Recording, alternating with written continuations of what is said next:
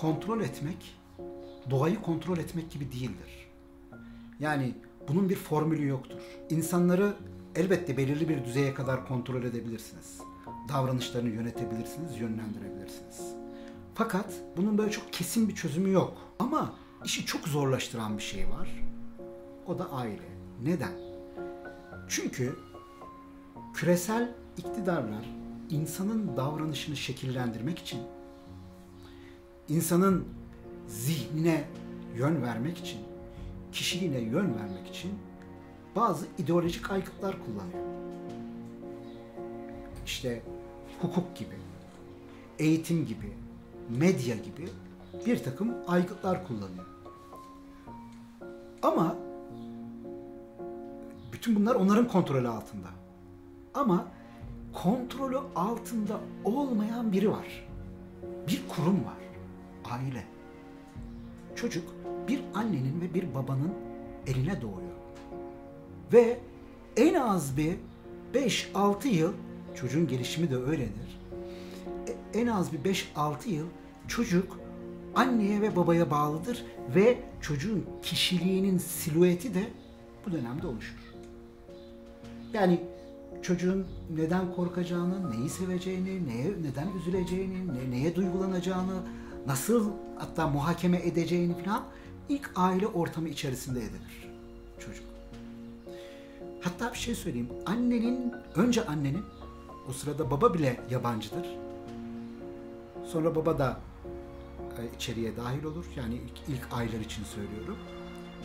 Diğerlerin hepsi yabancıdır. Onlara karşı bir tavrı vardır bebeğin. Anne hariç. Anne hariç. Anne ile çocuk arasında simbiyotik bir ilişki var. Yani bir beden organ ilişkisi var. Yani bağlanma teorisi diye bir teori var psikolojide. Bunu çok daha ayrıntılı ve e, iyi bir şekilde anlatır. Bu ilişki derin bir ilişki. Ve bizim bireysel hafızamızı bireysel hafızamızı duygusal yani zihinsel ve duygusal hafızamızı şekillendiren bir ilişki. Kişiliğimizi şekillendiren bir ilişki.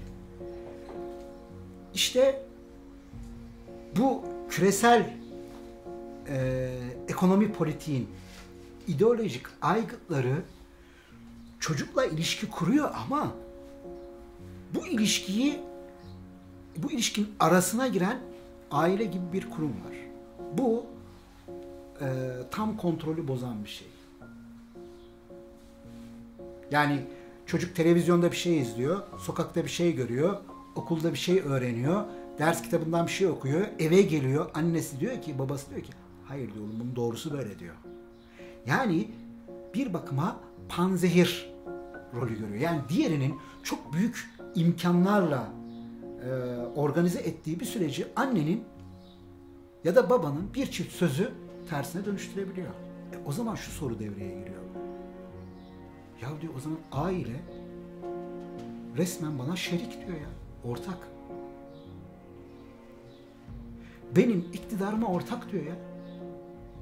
Zaten bu çok uzun zaman Platon'dan itibaren tartışılmış. Çocuk demişler. Ailenin olmaması lazım. Devlet yetiştirmesi lazım. Yani aile çözüldüğü zaman e, çocuğu e, bireyi yani insanı duygusal bağlarından, akrabalık bağlarından arındırılmış bir şekilde tamamen ya da tamamene yakın bir şekilde kontrol altına almak mümkün olacaktır. O yüzden bugün sperm bankaları, yumurta bankaları filan var. Alternatif aile kurumlarından bahsediliyor, modellerinden bahsediliyor. Yani üremeden değil, üremeden değil, üretime geçeceğimiz. Yani çocuk e, dediğimiz şey imal edilen bir şey olacak. Oradan bir sperm alınacak, buradan bir yumurta alınacak. Şurada bir tüpte döllenecek. Seninle hiçbir şey yok. Duygusal bağı yok, tarihsel bağı yok, psikolojik bağı yok. Bu. Temel sebeplerden bir tanesi bu. Böyle bir toplumu çok kolay yönetirsiniz. Çok kolay motive edersiniz, manipüle edersiniz çok kolay bir şekilde köleleştirirsin, köleleştirirsiniz. Ama daha derin katmanda daha mistik bir amacın olduğunu düşünüyorum. yani bu aileye karşı yapılan bu saldırının yapay zeka, transhümanizm, posthümanizm, toplumsal cinsiyet, cinsel çeşitlilik, cinsiyetsizlik, işte LGBT vesaire bütün bunların hepsi aslına bakarsanız puzzle'ın parçaları gibi düşünmek gerekiyor. Bunları ve bunların hepsinin birbiriyle ilişkili olduğunu, bunları koordine eden, organize eden bir düzenliliğin olduğunu görürsünüz. Şimdi orada o katmanda e, söylenen şey şu. Diyorlar ki eğer biz üremeyi kontrol altına alabilirsek, yaşlanmayı ve hele hele ölümü kontrol altına alabilirsek insanların gerçekten bir tanrıya ihtiyacı. O zaman e, bir e, insanların geleceklerini ve kendilerini tasarlarken e, dinsel, ilahi herhangi bir dayanağa ihtiyaç kalmayacaklardır. İşte o zaman gerçekten biz tanrılığımızı ilan edebiliriz. Ben bana çok ilginç geliyor bilemiyorum. Hazreti İbrahim'le Nemrut'un Kur'an'daki tartışması. Ee, Nemrut'un ismi geçmez orada biliyorsunuz. Der ki e, kendisine iktidar verdiğimiz, bir mülk verdiğimiz o adam İbrahim'le tartıştılar. Yani bu şu demektir. Orada orada bir sembolik bir şey var. Yani gerçek bir kişi ama iktidar diyor yani. Mülk sahibi, malik, güç sahibi. Öyle bir noktaya geldi ki diyor.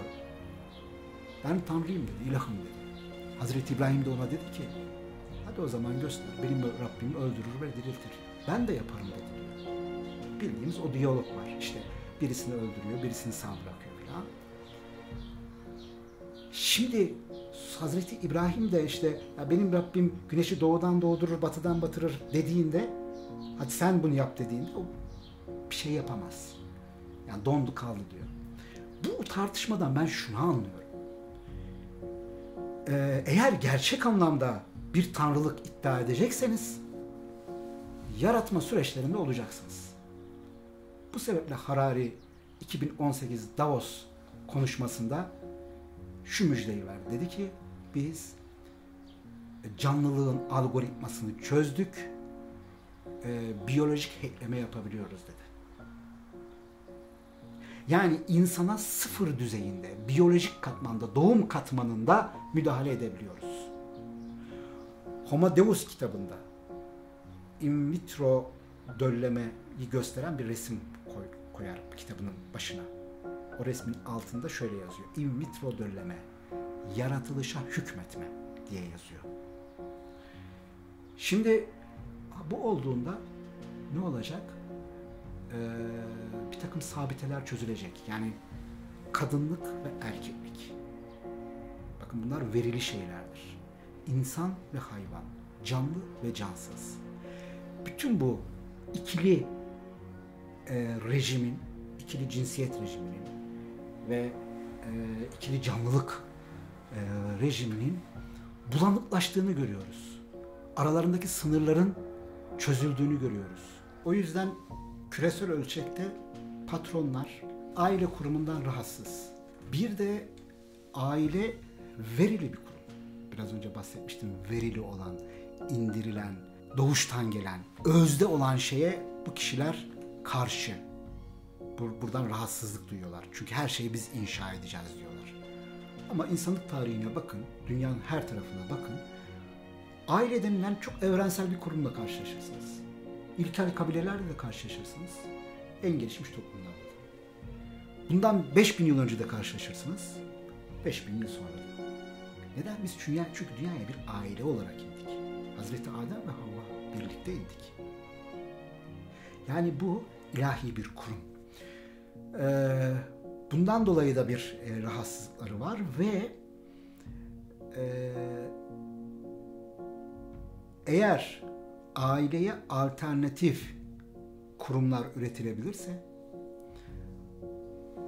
bildiğimiz o geleneksel aile yapısının dışında üreme sağlanabilirse e, burada e, daha maksimum düzeyde patronların, ulusal ve küresel patronların insanı e, kontrol altına alması mümkün olacaktır. Bunun için de bütün gençlere tavsiye ettikleri şey şu. Diyorlar ki hazla üremeyi birbirinden ayırın. Bizim değerlerimizde hazla üreme bitişiktir, yan yanadır. Bunlar ayırıyorlar. Diyor ki haz ayrı bir şeydir, üreme ayrı bir şeydir. Üreme sorunlu bir şey diyor. Anne olacaksın, baba olacaksın, bunun e, zorluğu var, problemi var falan. Diyor ki niçin yapıyorsun bunu? Zevk için. Biliyorum diyor yani haz için. E kardeşim seni sınırlayan mı var diyor yani. Seni diyor sınırlayan mı var? Yani istediğin gibi, istediğin kişiyle, üstelik sadece kadınla değil, sadece erkekle değil, sadece karşı cinsle değil, sadece hem cinsinle değil. Neyle istiyorsan onunla. Neyle istiyorsan onunla. Yani bugün işte e, niye yaşla sınırlandırıyorsun kendini diyorlar. Hayvanla olabilir, yaşlıyla olabilir, çocukla olabilir. Ve bütün bunun hepsine de queer, queer teori diyorlar. Feminizmi de içine alan bir üst çerçeveden bahsediyoruz. Queer. Hiçbir şeyle sınır değilsin diyorlar. Kafana göre takıl, keyfine göre takıl. Ama üreme ideolojik bir şey. Ha oradan diyor uzak dur. Bunu eğer yapmak istiyorsan, bunu yapmak istiyorsan işte biraz önce söylediğim gibi o bankalar aracılığıyla yapay rahimler e, ya da kiralık rahimler aracılığıyla daha başka yollardan yapabilirsin diyorlar. Ha, bu da tabii ki beraberinde neyi getiriyor? İşte e, bugün evlilik yaşına bakın. Kadınlar da 26'ya, erkekler de 27'ye çıktı. Türkiye'den bahsediyorum. Yani doğurma yaşı 30'ları buldu. Bu batıda daha yüksek. 33, 34, 35'e kadar gidiyor.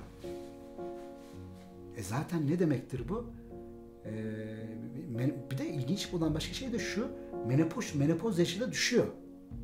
Yani daha erken menopoza giriyor kadınlar. Ha, o zaman bu e, sürecin benim görebildiğim kadarıyla e, ekonomik yönü var, e, demografik bir yönü var, siyasi bir yönü var ama aynı zamanda kardeşim biz öldürür ve diriltiriz diyebilecekleri böyle daha mistik bir e, amacında olduğunu düşünüyorum. Bütün bu sürece bakıldığında bugün yazılı olan ayetlerden ayetlere değil yani işte e, daha önce İncil'i, Tevrat'ı falan tahrif edebiliyorlardı. Yani oradaki yazılı olan şeyi değiştiriyorlardı. E şimdi bizim bugün elimizde bir Kur'an var. E, adam bununla uğraşmıyor şu anda. Yaptığı şey şu.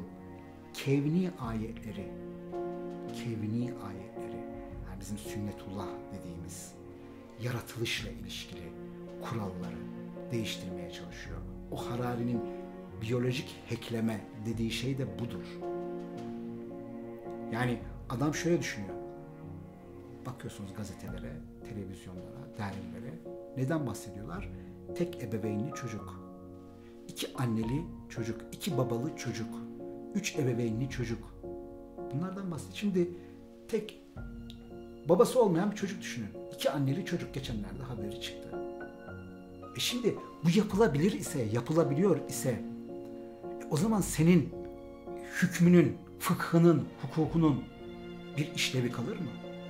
Yani ilahi dinler, buraya lütfen dikkat edelim. Doğal ayetlerle, kainat ayetleriyle, yaratılış kurallarıyla uyumlu olarak inmiştir. Çünkü aynı kaynaktan Eğer siz o ayetlerin üzerinde işlev göreceği, yani bunu bilgisayardaki yazılıma benzetebiliriz, yazılım program ilişkisine. Yazılımı bozarsanız o program bunun üzerinde işlemez. Hükümsüz kalır. Dolayısıyla senin dinin, ayetlerin, hükmün boşa çıkar. Ha, o zaman kuralı kendisi yazmış olur ve kendi yazdığı kurala göre e, süreci e, daha e, kontrollü bir şekilde, bütün kontrolü kendisine e, almış bir şekilde yönetebilir diye düşünüyorum. Bizim buna karşı çıkmamız lazım. E, buna karşı çıkmanın, buna direnç göster. Bu sadece kendi coğrafyamız adına değil, kendi sadece kendi çoluk çocuğumuz adına değil. Bunu bütün bir insanlık adına yapmamız lazım. Çünkü gerçekten e, bütün bir insanlık tehdit altında bugün. Yani e, bu, bu, bu buradaki gelişmeler eğer dikkatli bir şekilde takip edilirse sadece bir coğrafyanın değil, sadece bir dinin değil, e, bütün coğrafyalardaki insan e, mefhumunun, insanın tehdit altında, tehlike altında olduğunu görürüz. E, buna Türkiye'nin bir direnç göstermesi gerekir ve ben bu direncin e, İstanbul Sözleşmesi e, 2011 yılında imzaladığımız İstanbul Sözleşmesi'ne hayır diyerek e, başlayabileceğini, toplumsal cinsiyet eşitliği teorilerine ve politikalarına hayır diyerek başlayıp, bunu tekrar söylüyorum, bunu sadece kendi çocuklarımız ve geleceğimiz adına değil, bütün bir insanlık adına böyle bir sorumluluk hissederek yapmamız gerekiyor. Çünkü bizim e, bugün konuşmanın başında söylemiştim. Toplumsal cinsiyet eşitliği e, teorileri, toplumsal cinsiyet eşitliğine dayanan politikalar bugün yaşadığımız bu e, ailenin çöküşünden, bu trajediden ve ona bağlı diğer sorunlardan şiddetli, alkoldü, uyuşturucuydu, psikolojik ve sosyal problemlerdi. Bunlardan tek sorumludur demiyorum ama e, makro sorumlusu bu e, politikalardır. Bunlara bir direnç gösterilmesi gerekir diye düşünüyorum.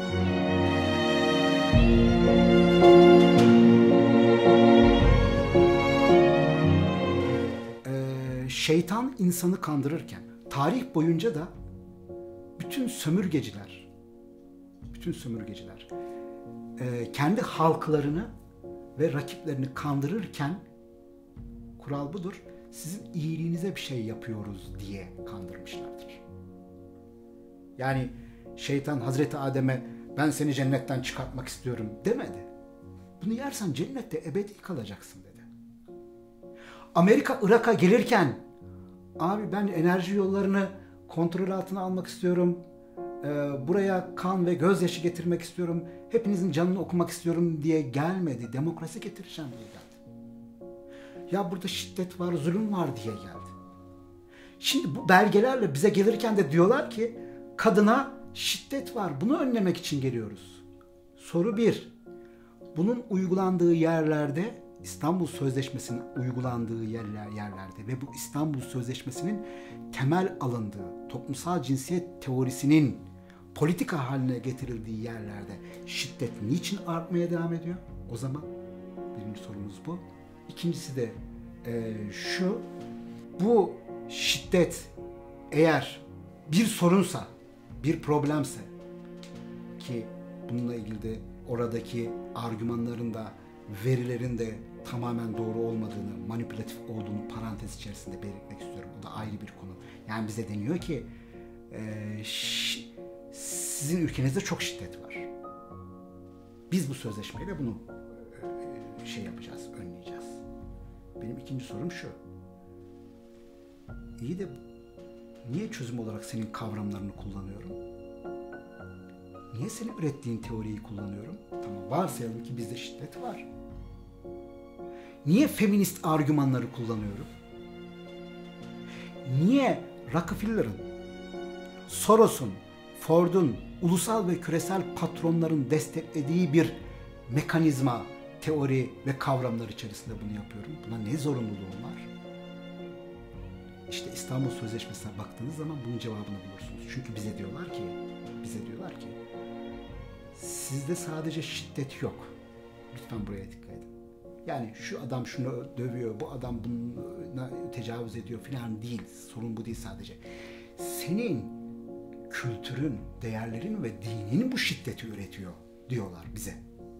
O yüzden 6. maddeye baktığınızda, 12. maddeye baktığınızda, 40. maddeye bak 42. maddeye baktığınızda şunu görürsünüz İstanbul Sözleşmesi'nde. Senin geleneğini, örfünü, adetini, dinini, değerlerini kalıplaşmış bütün rollerini diyor değiştireceğim ve ortadan kaldıracağım diyor. Orada bir kavram geçiyor. İngilizcesi şu anda aklıma gelmedi. Ee, orada diyor ki kökünü kazımak. Tam Türkçesi bu. Kökünü kurutmak. Yani burada tekrar söylüyorum somut bireysel şuradaki şiddeti önlemekten bahsetmiyor. Senin kültürün ve değerlerin diyor bunu üretiyor. O yüzden diyor bunu değiştirmemiz lazım. Ya o zaman bunu değiştireceksek ben de soruyorum bütün yetkililere. Biz biz olarak kalacak mıyız? Tekrar tekrar ediyorum. İstanbul Sözleşmesi şiddeti önleme amaçlı çıkarılmıştır. Ama imzalanmıştır ve bize öyle satılmıştır, öyle pazarlanmıştır bize. Ama bunun uygulandığı yerlerde şiddet başlangıç konuşmanın başında İsveç'ten, Finlandiya'dan, işte e, Norveç'ten örnekler verdim. Bu sözleşmenin dayandığı teorinin politik haline getirildiği yerlerde şiddet artmaya devam ediyor. Bizim ülkemizde de bir diğer soru şudur. 15 yıldan beri bu politikalar uygulanıyor. 8 yıldan beri 8 e, yıl olmuş İstanbul Sözleşmesi imzalandı ve 5 yıl olmuş yürürlüğe gireli. Bizde şiddet artmaya devam ediyor. O zaman niçin uyguluyoruz bunu? Neden uyguluyoruz? Ben e, şiddetin araçsallaştırıldığını düşünüyorum. Yani bu abi işte Irak'ta kimyasal silah var argümanı vardı ya. Yani işgal etmeniz için çünkü kötü bir şey olması lazım. Sizde şiddet var. Bu şimdi şöyle manipüle ediliyor. İstanbul Sözleşmesi'ne karşı çıkanlar şiddete e, biz şiddet uygulamaya devam etmek istiyoruz diyorlar. Kadına eziyet etmeye devam etmek istiyoruz diyorlar. Şeklinde kadın düşmanları şeklinde filan böyle e, yaftalıyorlar, etiketliyorlar. Bu bir manipülasyondur. E, bu aslına bakarsanız e, şiddetin e, araçsallaştırılarak yeni bir toplum inşa etmenin e, bir e, başlangıcıdır. Artı bir şey daha burada ifade etmem gerekiyor. İstanbul Sözleşmesi'nin dördüncü maddesi iki tane, dördüncü maddesinin üçüncü bendi. iki tane kavramdan bahseder. Cinsel yönelim ve cinsel kimlik. Toplumsal cinsiyet kimliği de denir. Ama sözleşmede cinsel kimlik olarak geçiyor. Cinsel yönelim, cinsel yönelim lezbiyen, gay, biseksüel ve heteroseksüeli kapsar. Yani şöyle söyleyelim aslında e, homoseksüel ve heteroseksüel yönelim kapsar. Ama bunun içerisinde kadının hem cinsine, erkeğin hem cinsine ve kadın ya da erkeğin her iki cinse de e, yönelimlerini kapsar. Bunu İstanbul Sözleşmesi'ni açıklayan Avrupa Konseyi Sözleşmesi'dir İstanbul Sözleşmesi. Bazıları da zannediyor ki İstanbul Sözleşmesi İstanbul isminden dolayı biz yazdık. Bu alakası yok. Avrupa Konseyi Sözleşmesi'dir ve Avrupa'dan ithal edilmiş bir sözleşmedir. Ee, ve bu kimlikleri legalize ediyor. Burada da bir manipülasyon var ona da dikkat çekmek istiyorum. Ee, bunlara şiddet mi uygulansın? Kimsenin kılına zarar gelmesin. Mevzu o değil. Mevzu şu. Avrupa Konseyi'nin İstanbul Sözleşmesi ile ilişkili o maddeyi açımladığı başka belgelere baktığınızda e, tavsiye kararlarına baktığınızda görüyorsunuz ki bunların eğitim hakkı, örgütlenme hakkı, siyasallaşma hakkı, e, efendim istihdam hakkı, e, toplanma ve yürüyüş hakkı ve propaganda bunların hepsinin olduğunu görüyorsunuz. Yani sen neysen bu da odur diyor. Bir dakika. Burada normu kim belirliyor? Niye senin normunla hareket etmek zorundayım? Üçüncü bir şey daha söylemek istiyorum. Biz ülkemizde İstanbul Sözleşmesi'ni kabul ederek şunu da kabul etmiş oluyoruz. Biz ülkemizdeki şiddeti, tekrar söylüyorum bundan abarttığı kadar değil ama var. Biz çünkü gerçek gerçektir. Bunu manipüle etmenin anlamı yok. Biz İstanbul Sözleşmesi'ni kabul ederek bu şiddeti kendi müktesebatımıza, kendi hukukumuza, kendi değerlerimize, kendi kültürümüze, kendi tarihimize dayanarak çözemeyeceğimizi de kabul etmiş oluyoruz. Yani sadece şunu kabul etmiş olmuyoruz. Ee, ya bizim değerlerimizin şiddet ürettiğini kabul etmiş oluyoruz ama aynı zamanda bunu bizim kendi müktesebatımızla çözemeyeceğimizi de kabul etmiş oluyoruz. Ben bunun hiç hiç kimse kusura bakmasın ama çok utanç verici olduğunu, mahcubiyet verici olduğunu düşünüyorum. Bu ülkenin bu sorunlarına çözüm bulabilecek bir e, iradesinin olduğuna inanıyorum. Bir müktesebatın olduğuna inanıyorum. Ama işin kolaycılığına kaçıyoruz. Bazıları diyor ki sizin çözümünüz ne? Ya bunu söyleyenlere de sor, soruyorum. Diyorum ki İstanbul Sözleşmesi dediğiniz sözleşme 81 maddeden oluşur. Hazırlık sürecinde 70'e yakın ülke, e, pardon, üye onlarca ülkeden bu konuda yıllarca işte uzmanlık yapmış 70'e yakın üye 3 yıl boyunca çalıştılar 81 madde Ve onun arkasına ta 1945'ten itibaren Birleşmiş Milletler'de kadın kadının statüsü komisyonunun kurulmasından itibaren daha da öncesinden belki 100 yıllık bir birikimi de ekleyin. Yani o önümüze çıkan metinin arkasında büyük bir çaba var. Ve uluslararası bir organizasyon var. Yani biz bu çabayı gösterme, bu iradeyi gösterme e, niyetinde miyiz, değil miyiz? Yani hani şöyle bir şey, elinde ne var? Elimde bir şeyin olmaması ya da yeterli olmaması bu çözümü üretemeyeceğimizi göstermez. Nitekim onlar da birçok belge üretiyor. İstediği olmuyor, sonra değiştiriyor, sonra ekliyor, sonra tekrar düzeltiyor. Yani burada önemli olan nokta şu. Biz kendi sorunlarımızı ve problemlerimizi, insana dönük sorunlarımızı ve problemlerimizi kendimiz çözme iradesini gösterecek miyiz, göstermeyecek? Göstereceksek ben yol alabileceğimize inanıyorum ve sadece kendi ülkemize değil, bütün bir coğrafyada, insanlık coğrafyasına da katkı sunabileceğimizi düşünüyorum. Şu, buradan da şunu da söylemiyorum. Biz etkileşime de açığız. Yeter ki benim üzerimde tahakküm kurmasın. Beni belirleyici olmasın. Ben şunu da söylemiyorum. Hiç onun dışarıdan bir şey almayalım falan. Böyle bir şeyim de yok. Ama e, beni ötekileştirerek, benim değerlerimi e, tahkir ederek, tahfif ederek, tezif ederek gelirse o zaman e, bu bir bağımsız ilişki olmaz. Beni tahakküm altına aldığı bir ilişki olur. Türkiye maalesef bugün bu durumdadır. E, buradan da e, kurtulunması, çıkılması gerekir. STK'ların, alimlerin, aydınların, sosyal bilimcilerin bu konuda bir sorumlulukları olduğunu düşünüyorum. E, bu söyleşiyi yaptığınız için, bana bunları söyleme fırsatı verdiğiniz için sizlere de teşekkür ederim.